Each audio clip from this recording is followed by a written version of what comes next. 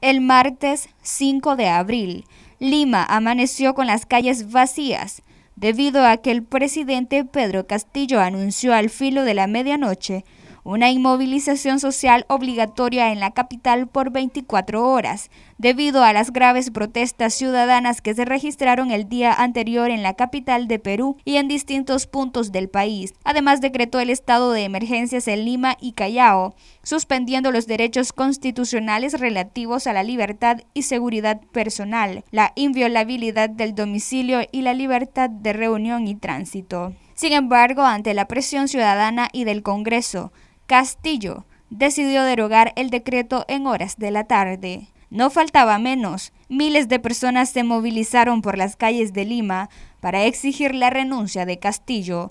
Inicialmente la protesta fue pacífica, pero por la noche una turba de vándalos se enfrentó con la policía y destruyó las sedes de la Corte Suprema de Justicia, el Ministerio Público y el Jurado Nacional de Elecciones. También realizaron saqueos en distintas tiendas. El saldo de la brutal gresca fue de 7 detenidos y 11 heridos. Este problema se originó con un paro de transportistas de carga por el alza de los combustibles hace una semana. El mandatario Castillo optó por enviar una delegación con el fin de calmar el problema.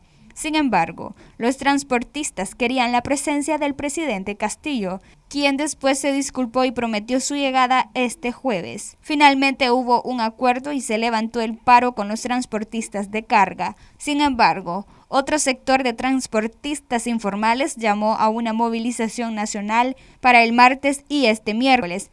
Exigieron un pliego de reclamos como también el alza de los combustibles, la anulación de los peajes, la ampliación de sus licencias por 10 años y la eliminación de la Autoridad de Transporte Urbano y la Superintendencia de Transporte Terrestre de Personas, Carga y Mercancías. Una de las críticas que se le ha hecho al gobierno es su falta de hoja de ruta para afrontar los conflictos sociales en Perú. En entrevista con VOA Noticias, el exministro de Defensa peruano dijo que el gobierno solo agrava los problemas y alimenta el enojo de la gente en una clara confesión de incompetencia, se está vacando solo. Según la última encuesta del Instituto de Estudios Peruanos, más del 80% de ciudadanos cree que la última salida a la crisis es la convocatoria de nuevas elecciones.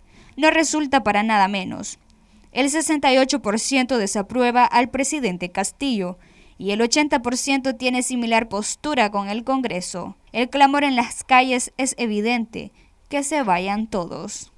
Para Noticias 12, Luisa Centeno.